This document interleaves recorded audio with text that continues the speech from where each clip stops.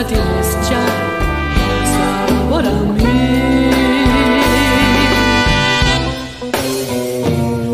pretendo ser tu dueña, no soy nadie, yo no tengo vanidad.